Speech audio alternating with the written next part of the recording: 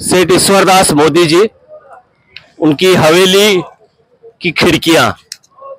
तीन सौ पैंसठ यह एक ही पिलर के निकासी करके किया हुआ है।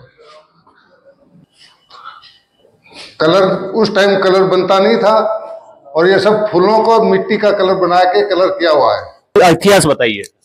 ये मैन सेठ जी ईश्वरदास जी मोदी इनके ये बेटे हैं पाँच।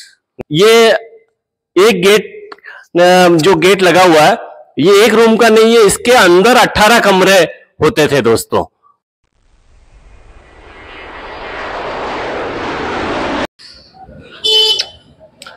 Hi guys welcome back to my YouTube channel guys इस वीडियो में मैं आज आपको लेकर के आ गया हूँ राजस्थान के शेखावाटी क्षेत्र में।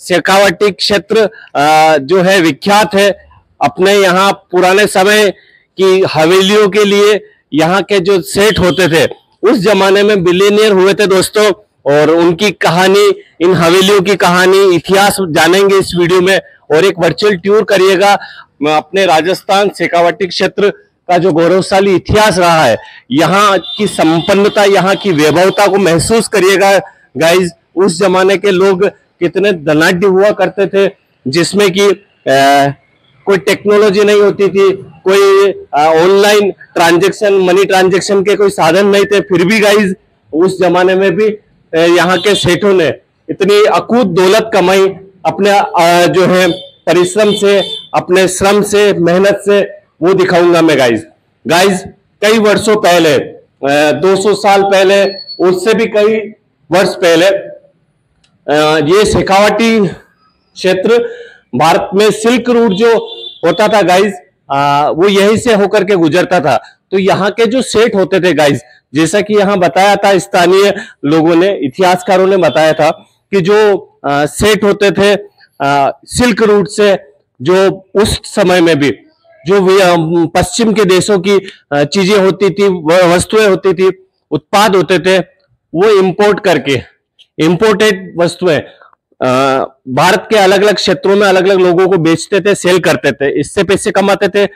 मसाले हो गए, रेशम हो गए, वो पाश्चात्य के देशों को, विदेशों को विदेशों में सेल करते थे। तो इस तरह से वो पैसा कमाते थे और जो पैसा कमा करके यहाँ कई लोगों को रोज़गार भी दिया और ऐसे भव्य हवेलियाँ बनाई। ये सेठ ईश्वरदास मोदी जी की हवेली है।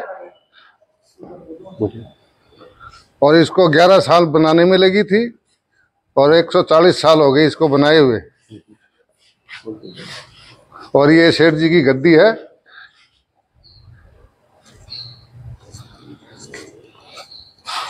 इसमें तीन सौ पैंसठ विंडो है।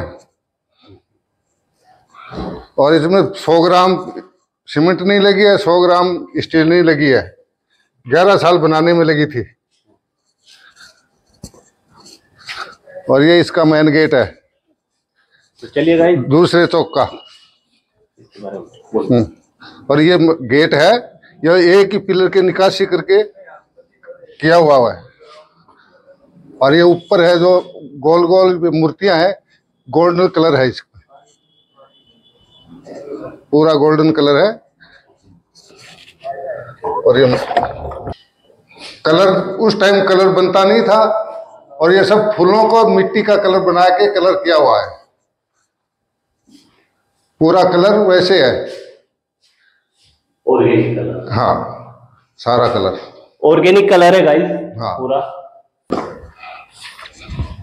और ये जो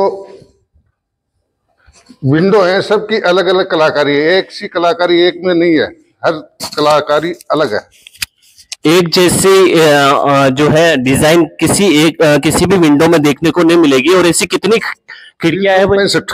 तीन सौ पैंसठ जैसे साल में तीन सौ पैंसठ दिन होते हैं ऐसे तीन सौ पैंसठ। और ये ये क्या है सर? ये पहले का पानी का बोलते थे ना परिंडा वो परिंडा है। गाइस आप देखिए उस जमाने में पानी भी ऐसे रखा जाता था ऐसे। मटकों में मटकों में रखा जाता था अंदर। हाँ। ये अलग अलग है, सारे विंडो की अलग अलग कलाकारी है। हर की। और साल में एक बार इनकी वो तेल लगवाते हैं दिमक नहीं लगे। ये 200 साल पहले निर्माण चालू हुआ था, ग्यारह साल बन के ये तैयार हुई, और सेठ जी कलकत्ता से कमा के लाते थे, यहाँ बेरोजगार को रोज़गार देते थे। हाँ। और ये कलाकार रहते थे, यहीं पे रहते थे, शाम को खा के सो जाते थे, सुबह वापस लग जाते थे। और 100 ग्राम स्टील नहीं लगी है 100 ग्राम सीमेंट नहीं लगी इसके अंदर। और ये सब कमरे हैं और ब्रिम- बरामदे हैं ये सब। हर कमरे के ऊपर बरा- बरामदा है। हम्म। और ये ये सारी कलाकारी उस टाइम की है। कोई वह नई नहीं करवाई है वो। तब से बनी है, तब से ही है ये। हाँ ये देख लो। ये सारी विंडो अलग अलग है। सर ये क्या सर ये क्या है? ये क्या चीज़ है? ये आ- जो रखा आड़ा बोलते थे इनको। आड़े हाँ हाँ आड़े। आड़ा सामान रखने के लिए। ये आड़े होते थे दोस्तों। हाँ उस टाइम आड़ा ही बोलता है। हाँ, सामान रखने के लिए। और ये कमरे हैं सर ये कमरे होते थे? ये कमरे हैं। इसमें अठारह कमरे हैं। अच्छा अच्छा। डबल चौक की हवेली है अच्छा इनके अंदर बहुत सारे कमरे हैं कहने का हाँ मतलब। बहुत सारे कमरे।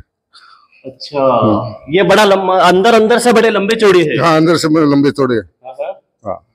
सा- नहीं एक एक गेट के अंदर बहुत सारे कमरे अलग अलग कमरे होते थे।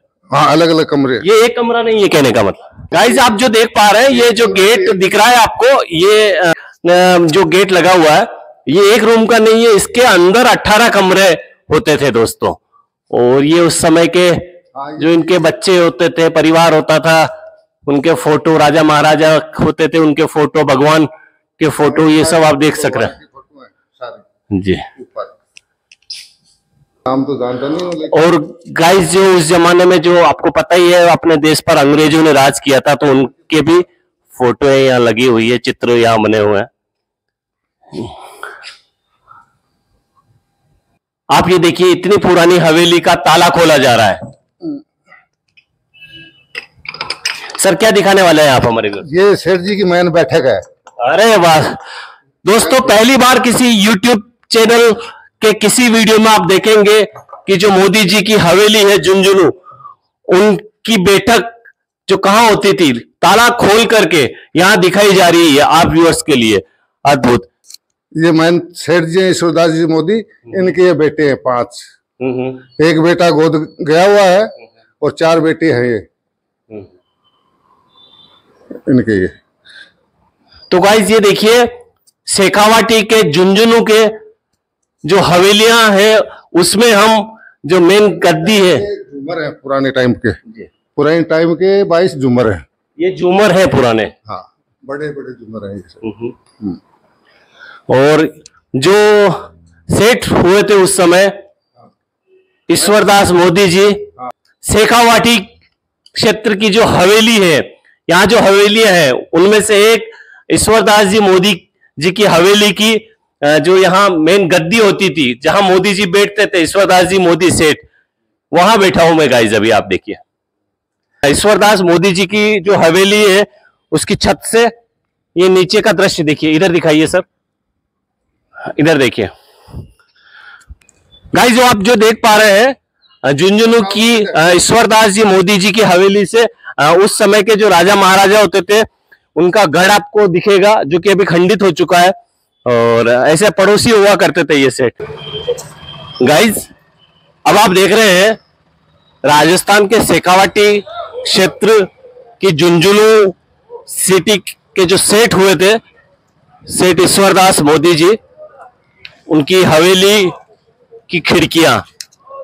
तीन सौ पैंसठ थ्री सिक्सटी फाइव खिड़कियाँ हुई तो होती थी उस समय। यहाँ, ये देखिए, कई कम, कमरे होते थे। अभी ये इतनी खिड़कियों से आइडिया लगा लीजिए गाइज़ कितने कमरे होते थे।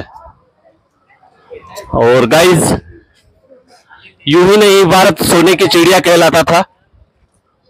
ऐसी हवेलियाँ बन चुकी थी आज से 200 साल पहले। यहाँ के सेठों की ओर से। तो गाइज़ ये था मेरा शेखावाटी क्षेत्र के झुंझुनू शहर की सेठ ईश्वरदास मोदी जी की हवेली का वीडियो। आपके लिए एक वर्चुअल टूर गाइज़ अगर वीडियो अच्छा लगे तो please like share and subscribe करिएगा। Thank you so much for watching my video